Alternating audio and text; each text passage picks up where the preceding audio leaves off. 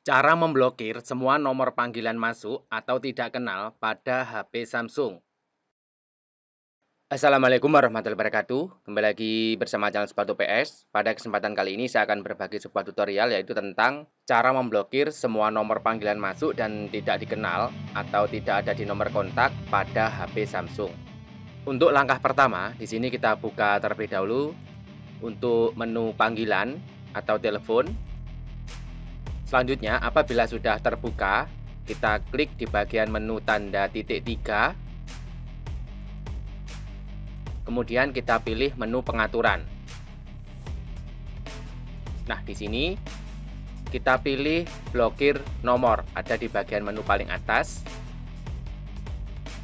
Nah, selanjutnya untuk memblokir nomor tidak dikenal ataupun nomor pribadi, kita aktifkan di bagian atas di sini Langkah selanjutnya, silahkan tambahkan nomor handphone.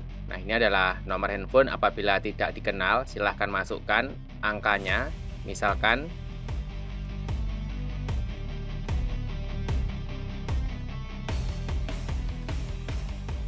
ini nomor saya acak. Apabila sudah, klik tombol selesai. Kemudian klik icon plus. Nah, ini adalah nomor yang tidak dikenal ataupun nomor yang tidak ada di dalam kontak. Apabila sudah tertulis atau terdapat pada daftar di sini, apabila nomor tersebut melakukan panggilan ke nomor HP yang kita gunakan, di sini akan tidak tersambung. Nah, selanjutnya, apabila ingin menambahkan nomor dari kontak, caranya klik menu kontak.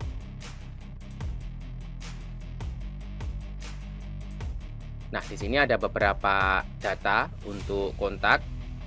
Nah, untuk contoh, ini akan saya pilih salah satu. Kemudian klik tombol selesai.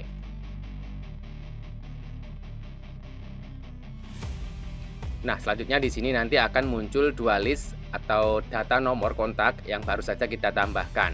Nah, apabila tidak ingin memblokir kontak tersebut, caranya cukup mudah. Kita klik di bagian atas atau kita nonaktifkan. Kemudian, apabila ingin menghapus nomor kontak yang ingin diblokir, kita klik icon min atau icon garis berwarna oranye di sini. Kemudian klik lagi. Nah, di sini akan muncul kini Anda akan dapat menerima pesan atau telepon dari nomor tersebut. Nah, itu adalah tutorial tentang cara memblokir semua nomor panggilan masuk dan tidak dikenal atau tidak ada di kontak di HP Samsung. Mudah-mudahan informasi ini bisa bermanfaat. Terima kasih. Wassalamualaikum warahmatullahi wabarakatuh.